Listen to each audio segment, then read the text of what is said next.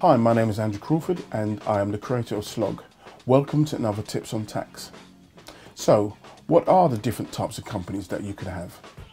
Well, first of all, you can have a private limited company limited by shares. Now, this is where the shareholders own a part of the company to the extent of their shareholdings. Then you can have a private limited company limited by guarantor. Now, this is where you don't have a shareholding, you have guarantors who are members and they have a nominal fee within that, um, within that company. Then you have a limited liability partnership. This is where each one of the partners are limited to the share that they own within that partnership. Then you have a public limited company. This is a big PLC. This is where you've got a minimum sharehold capital of £50,000 and the public own that company. Then you have a private unlimited company.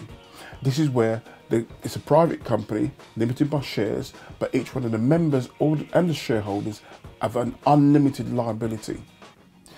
Now, if you want to simplify your tax accounts or you want to know more about Zlogg, visit www.zlogg.co.uk.